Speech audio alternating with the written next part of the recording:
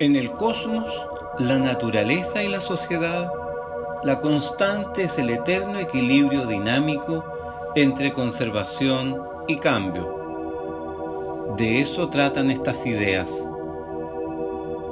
En este encuentro fraternal no se pretende entregar respuestas sino viralizar preguntas.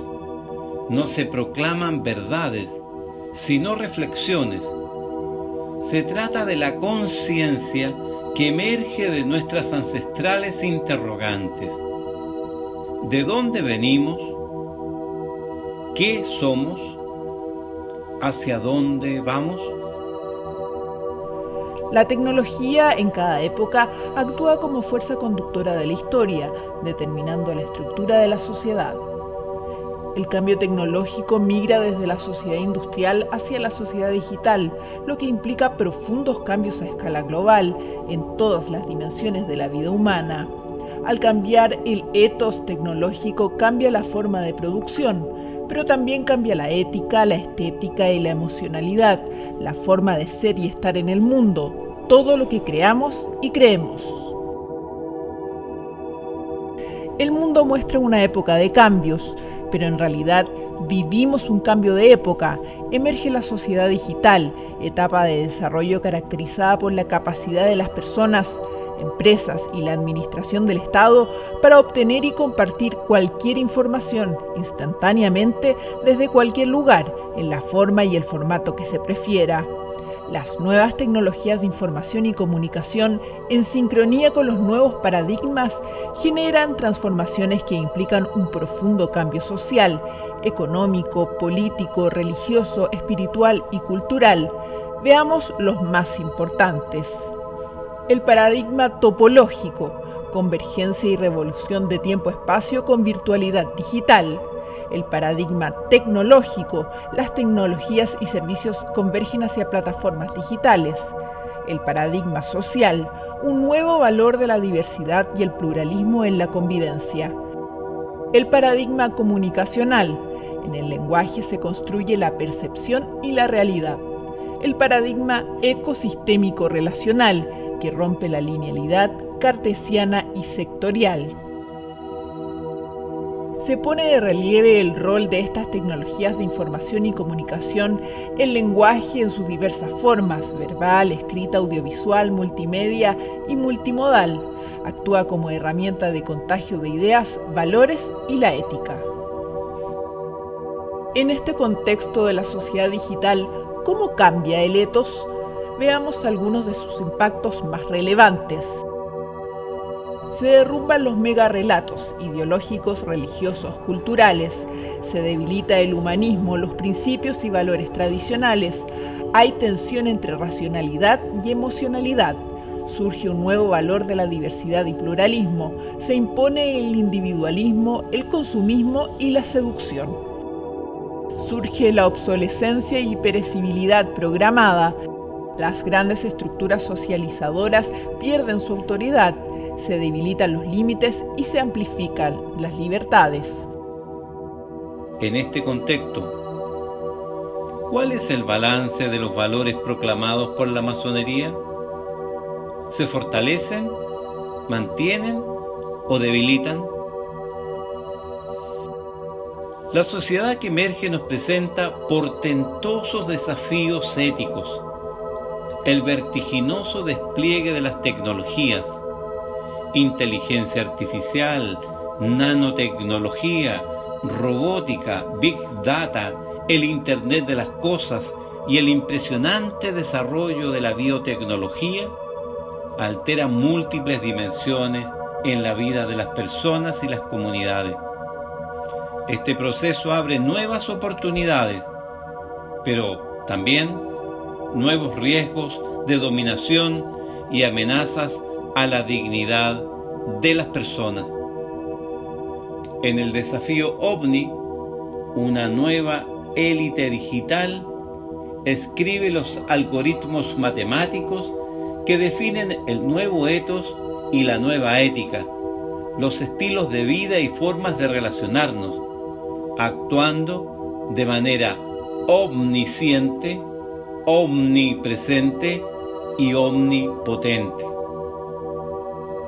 ¿Cuál es el sentido actual de la premisa Conócete a ti mismo? ¿Será en lo espiritual, cultural, biológico, genético? Los gestionadores de la red parecen conocernos hasta en lo más íntimo. Todo es comunicación los seres humanos somos los que son nuestras relaciones en lo personal y en lo institucional.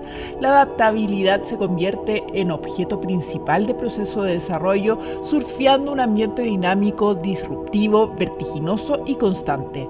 Como seres replicativos en lo biológico, cultural y espiritual, Allí radica la importancia de los procesos de viralización y contagio que se dan en los medios de comunicación y las redes sociales, que pueden ser claves para generar sinergias sociales o generar riesgos de manipulación de la subjetividad, aquello que nos interesa, nos gusta, las preguntas que nos hacemos, las ideas y temas que compartimos.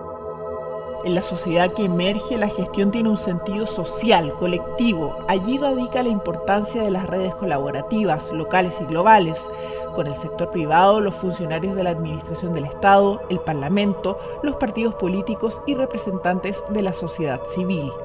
La participación social es fundamental en la construcción de valores compartidos y aglutinantes en todos los niveles de la sociedad la innovación social y tecnológica son claves para conseguir el desarrollo con equidad, justicia y solidaridad. Vivimos la tensión entre cambio y conservación que genera dicotomías institucionales sustantivas que debemos equilibrar para pasar desde la reflexión valórica a una efectiva acción benéfica en la sociedad.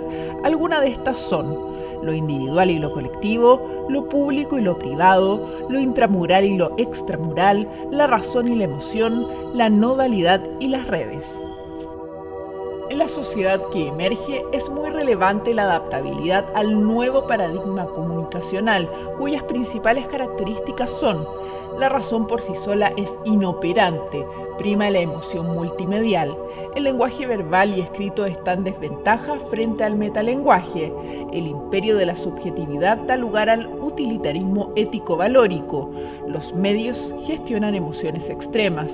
La desinformación y la manipulación de las emociones genera poder. La desconfianza hace estéril la verdad. Las redes reinventan las formas de relación social.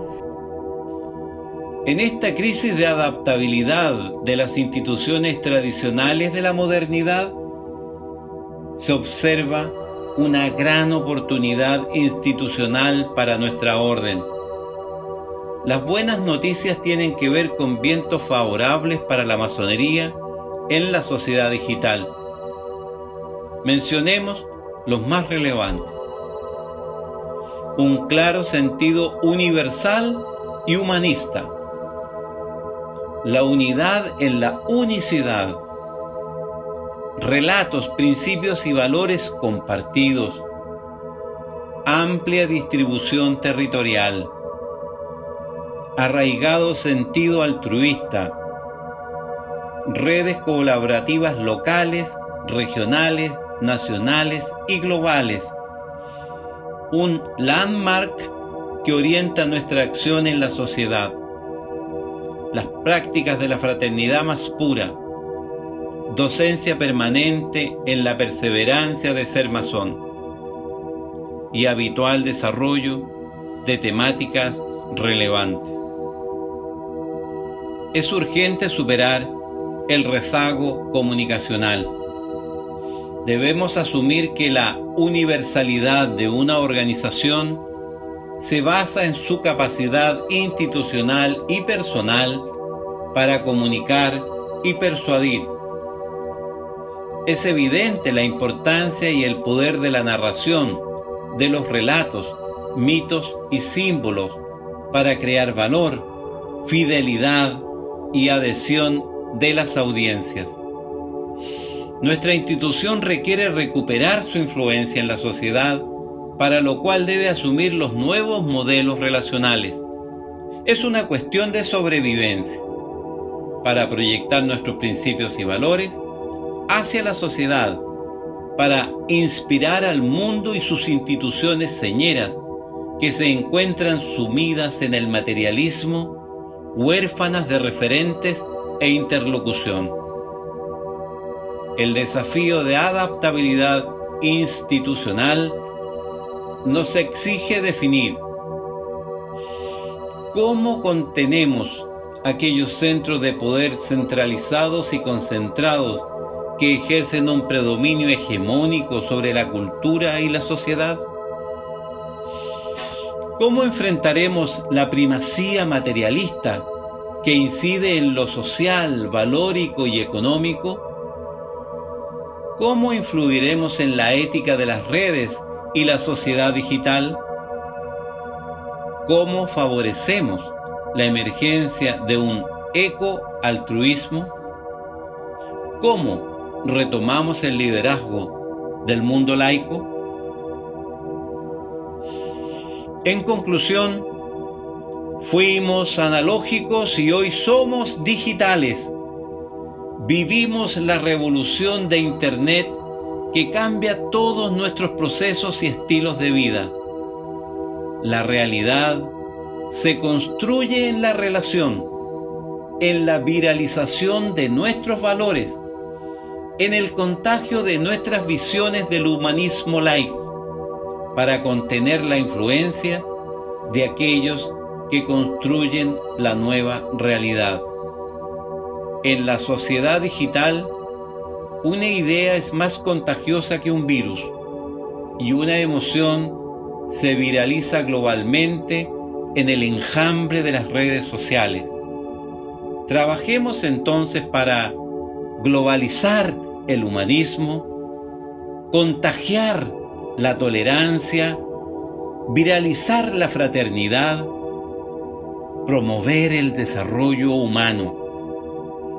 Debemos inmunizarnos del síndrome de la irrelevancia que gatilla la escasa o nula consecuencia de los actos personales e institucionales. Los grandes íconos humanistas llevan la impronta de nuestros queridos hermanos que en otros tiempos hicieron la historia.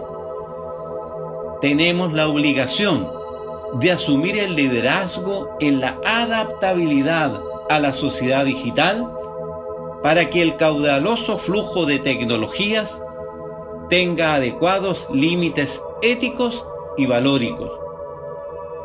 No por nosotros, ni siquiera por nuestra orden.